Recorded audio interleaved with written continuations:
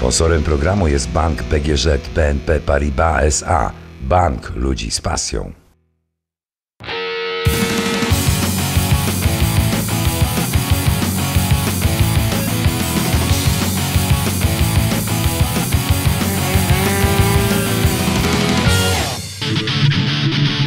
Witajcie w Motośladzie. Dziś w programie przewaga dwóch kół nad czterema, czyli ratownik medyczny na motocyklu. Junaka, który na chwilę zaparkował na Mokotowskiej 48, ocenia Irek, nasz styleman. Easy biker Enrico w podróży po Włoszech. Jeżeli w salonie Liberator Harley Davidson pojawi się jakiś Mikołaj, to to musi być Mikołaj na Harley'u. Kiedy rozmawiałem kiedyś z Grześkiem e, zwanym Miednicą, który gdzieś tam w obłokach w tej chwili krąży, mówił mi, że nie jest to możliwe, żeby w Polsce było coś takiego jak karetka e, czy pojazd ratowniczy jeżdżący na motocyklu. Coś się chyba, Michał, zmieniło. E, Tak, mamy nadzieję, że się zmieni, bo ustawa w sumie nie jest jeszcze podpisana, ale do Sejmu trafił projekt e, zmian w ustawie o Państwowym Ratownictwie Medycznym, który między innymi wprowadza coś takiego jak karetka motocyklowa, czyli zespół jednoosobowy na motocyklu. Dobrze, ale chcesz przez to powiedzieć, że robisz to na razie nie do końca prawnie? E, tak, może, znaczy, może określenie do końca prawnie nie jest, e, nie jest tutaj trafnym określeniem, ponieważ e, e, nie chcę za to pieniędzy, jeżdżę dla samego siebie i dla ludzi, których e, czasami zdarza mi się uratować. Natomiast e, od, e, jeżeli wejdzie ta ustawa, zostanie podpisana, to wreszcie motocykle będą mogły jeździć normalnie w systemie Państwowego Ratownictwa Medycznego i operatorzy tego systemu będą mogli zakontraktować te motocykle do NFZ-u, przez co normalnie dostawać pieniądze za pracę ratowników, za sprzęt, który zużywają i tak dalej. Czyli rozumiem, że e, działasz na razie charytatywnie. Tak, dokładnie tak. To pięknie brzmi. E, dobrze, ale no, wszyscy wiemy, że motocykl najszybciej dotrze do miejsca wypadku. E, czasami ta złota godzina, o której się często mówi, jest bardzo e, no, króciuteńka i trzeba działać bardzo szybko. Rozumiem, że na tym motocyklu masz cały sprzęt do e, ratownictwa. E, tak, e, złota godzina, a tak naprawdę platynowe 5 minut, bo te 5 minut jest najważniejsza w momencie zatrzymania krążenia. Po tych niecałych 5 minutach zaczyna odmierać bezpowrotnie nasz mózg, zachodzą bezpowrotne zmiany, no i to jest ten czas, który e, próbujemy właśnie na motocyklach e, uzyskać, wykrać te cenne minuty śmierci. E, Co do sprzętu, tak, można powiedzieć, że jest tu właściwie wszystko, co jest w karetce na pokładzie, e, oprócz noszy i deski ortopedycznej, no ale e, zadaniem motocyklisty, ratownika motocyklisty nie jest transport poszkodowanego, tylko dojechanie jako pierwszy na miejsce e, zdarzenia i działanie. Właśnie to te najważniejsze rzeczy, resuscytacja krążeniowo-oddechowa, e, wszystko to, co może zrobić ratownik w jednoosobowym zespole. Rozumiem, że na co dzień też jeździsz w normalnej karetce? E, Nie, no tutaj tak, tak dobrze nie jest. Kiedyś, e, kiedyś troszkę tak, natomiast w tej chwili moja główna praca to jest za biurkiem, natomiast motocykl i ratownictwo to jest połączenie dwóch największych pasji. No dobrze, ale to jest coś takiego jak Ochotnicza Straż Pożarna. Siedzisz za biurkiem, nagle wezwanie i co, rzucasz wszystko, zjeżdżasz po rurze, wsiadasz na motocykl i do boju. E, To by było w świecie idealnym, tak dobrze, tak dobrze nie mam. Myślę, że mój pracodawca nie byłby zbyt szczęśliwy, gdybym tak robił. E, Natomiast e, wolny czas, tak, weekendy, po, w sezonie, po pracy, przed pracą, tak, jak najbardziej tak. No dobrze, teraz światła. Motocykl wyposażony jest w niebieskie światła, które są zastrzeżone dla pewnych służb. E, czy mm, przy tym prawie, które obecnie istnieje, możesz tych świateł użyć? E, Tak, motocykl jest zarejestrowany normalnie na spółkę, która to jest, ma normalne zezwolenia z Ministerstwa Spraw Wewnętrznych, tak zwaną koncesję na używanie sygnałów y, uprzywilejowania w ruchu drogowym. Jest to jak najbardziej, jak najbardziej legalne. To genialne, czyli ktoś tam jednak trochę oleju w głowie ma i taki motocykl może użyć tych świateł, bo w końcu nie jedzie dla przyjemności, tylko jedzie po to, że- żeby ratować czyjeś życie. Dokładnie, no jest to stan, który uzasadnia jak najbardziej użycie tych sygnałów w ruchu drogowym. Dobra, e, to teraz pytanie o efektywność. Zdarzyło Ci już kiedyś e, działać? E, tak, zdarzyło się, no i faktycznie no, czas dojazdu jest nieporównywalny z karetką, szczególnie w dużych aglomeracjach miejskich, godziny szczytu. Motocykl potrzebuje około 70 cm, karetka potrzebuje prawie, prawie 2 metry, tak? Ja mogę przejechać po chodniku, mogę przejechać między słupkami odgradzającymi jezdnię chodnik. E, wydarzył się w Polsce przypadek, że motocykl ratunkowy jechał po centrum handlowym, po, normalnie po holu, żeby ratować człowieka. Pozostaje mi tylko powiedzieć tyle. Pewnie są już jakieś osoby, które mogą przybić Ci piątkę i powiedzieć stary dziękuję, dzięki Tobie żyję. E, myślę, myślę, że tak. To właśnie Michał. I tutaj małe słówko do ustawodawców, to naprawdę ratuje życie. Takie sytuacje naprawdę mają sens. Jeżeli ktoś władny trzyma w garści stempel, którym ma podbić taką ustawę, to niechaj czym prędzej tym stemplem trzaśnie. Tak samo szybko, jak szybko dojeżdżają ratownicy motocyklowi. Dzięki za to, że jesteś, dzięki za Twoje działania i naprawdę szacun. Nie ma sprawy.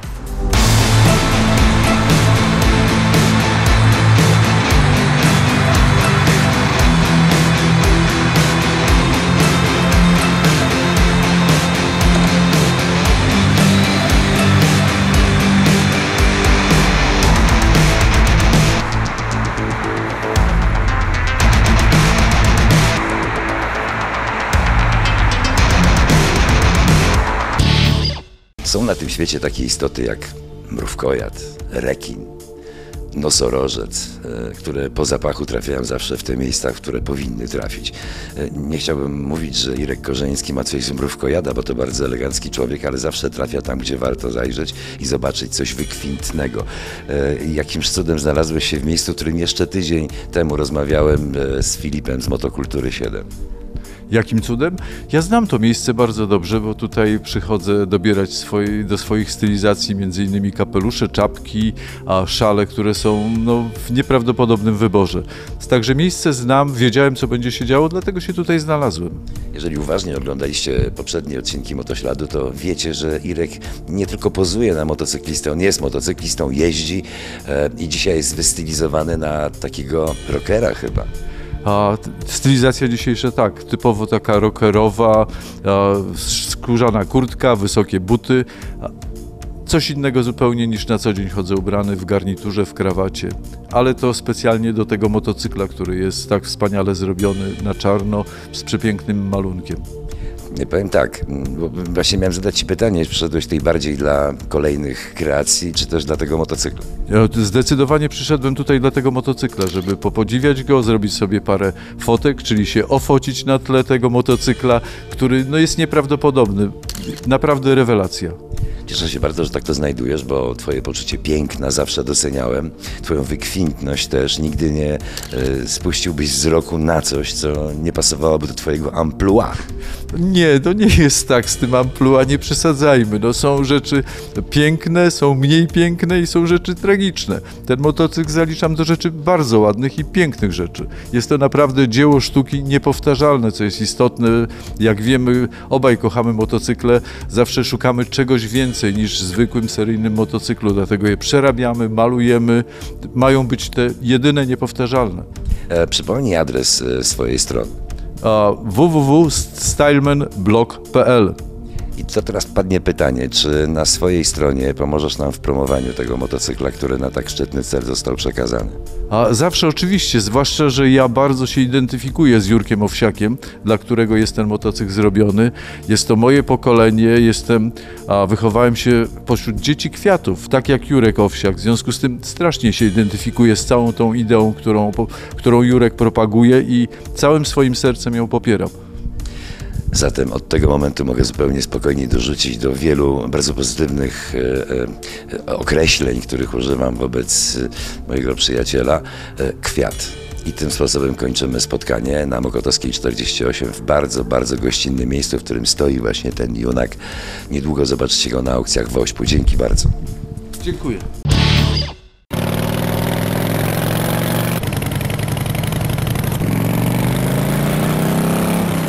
Sponsorem programu jest Almot, wyłączny dystrybutor motocykli Triumph w Polsce. Warszawa, Aleje Jerozolimskie 200. Brand Store Triumph.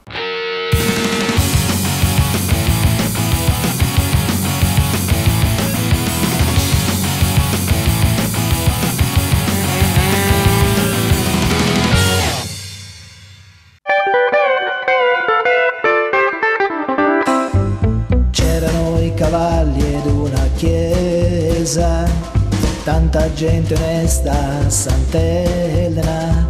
Per caso io notai una ragazza lei, un angelo veniva verso me.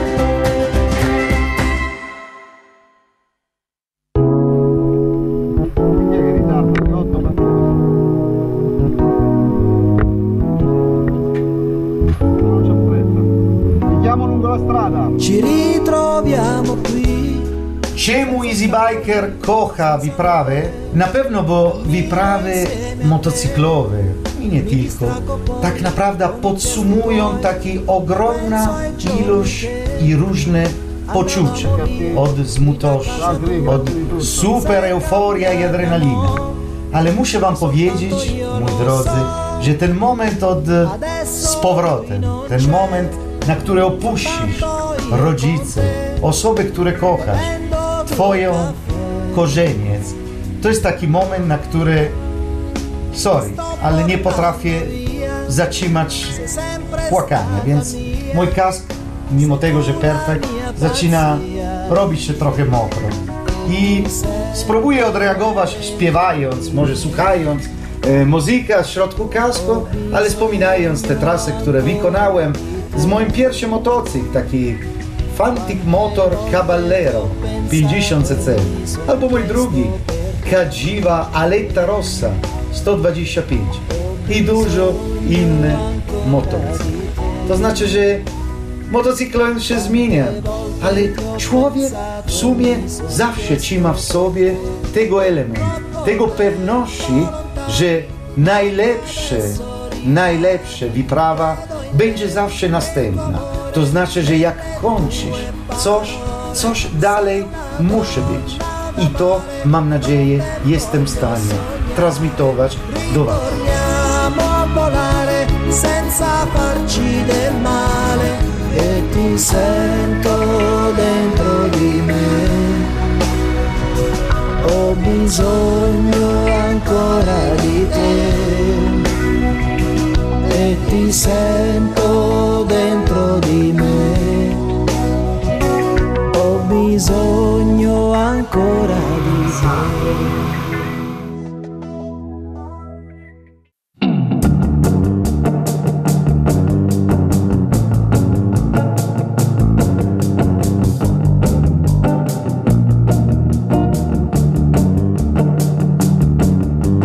Działo się wczoraj, 1200 km spotkaliśmy e, upały, spotkaliśmy się deszczu, zimno.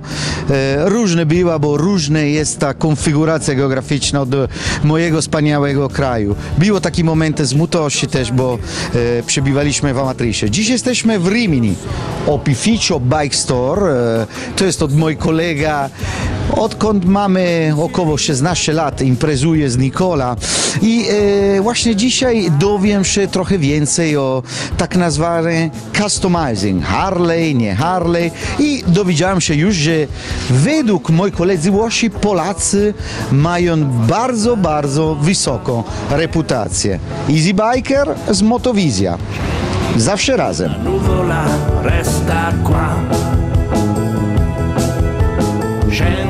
Buonasera a tutti. On nie mówi po polsku, ale może się nauczyć, bo parę razy było mnie wizytować w Polsce, to jest jego królestwo. Tu znajdujemy wszystkie, questo è il tuo regno, dicevo, qui troviamo di tutto di più. Grande fama, abbiamo detto, powiedzieliśmy, dobrą reputację od Polacy jako customizer. Qual è il modello che vendi maggiormente? Jaki model najwięcej sprzedaż? Ma senza ombra di dubbio Harley Davidson. Harley Davidson Sportster piuttosto che Crossbone, diversi modelli. Comunque Oczywiście, jak rozumieliście, Harley'e się najwięcej e, sprzedadzą. Będą zadowoleni koledzy z Warszawy, ale ogólnie biorąc, e, motoszlady i ostre też bardzo e, lubią e, Harley. Nie ukrywam, że e, ja też, ale bardziej jako e, admiruję ogólnie biorąc jednoszladowy. A dopo, arrivederci.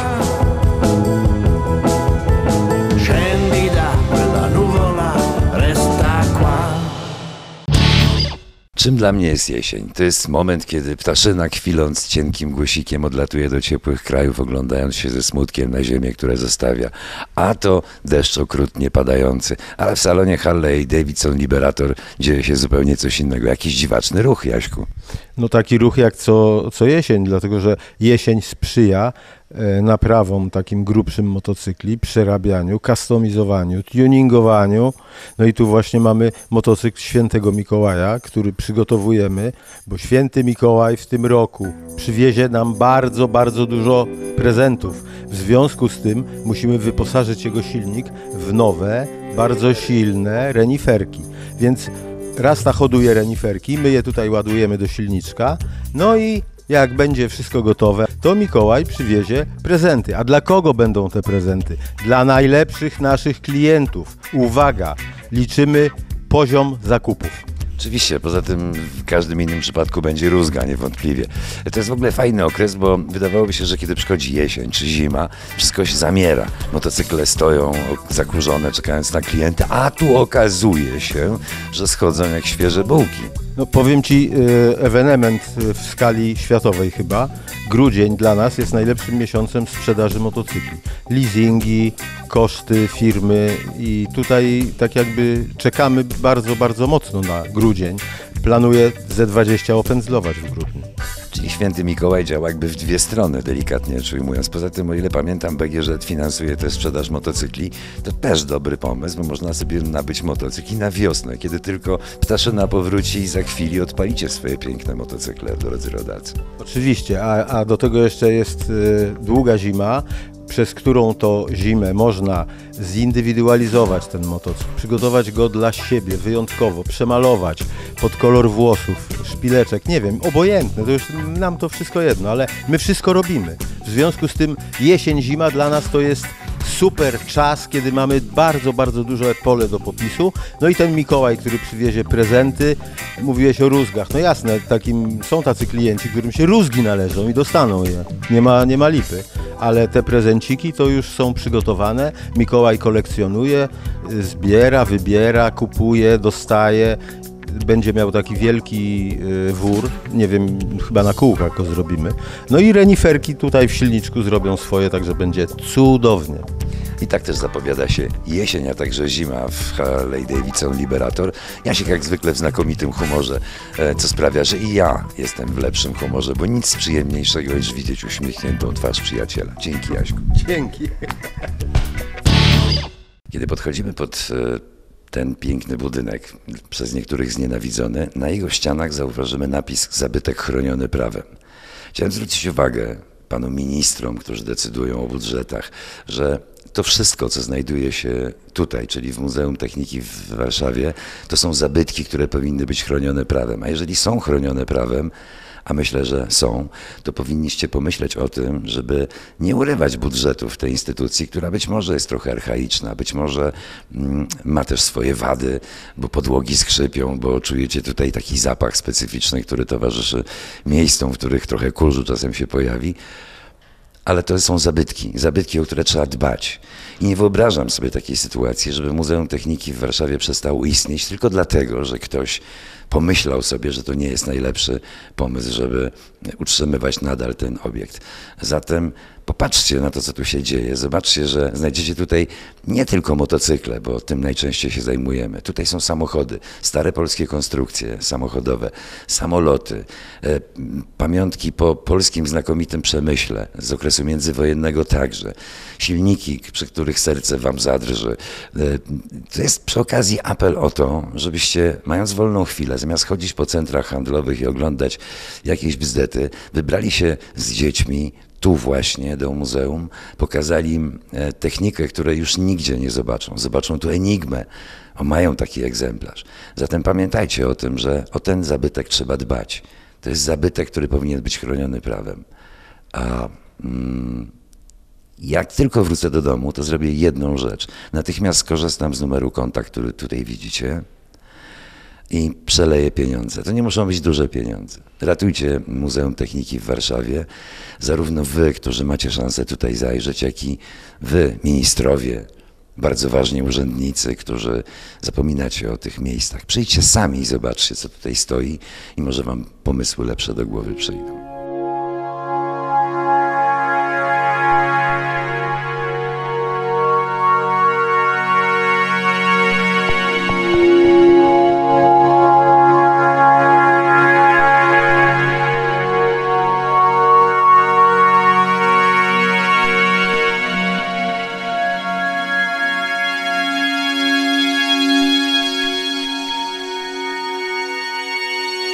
Zapraszamy na premierowy odcinek Motośladu w czwartek o 22. Poprzednie odcinki Motośladu możecie obejrzeć na stronie oczamiostrego.pl albo na Facebooku Oczami Ostrego.